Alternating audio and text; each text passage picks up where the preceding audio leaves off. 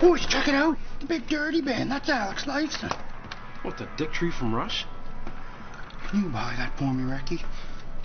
I'll have to buy it. He stole his money for that green and black I hooked him up with. Rick, stop around, put it back. I am putting it back. Listen, boss, we got no money. You can't have Ricky. He said.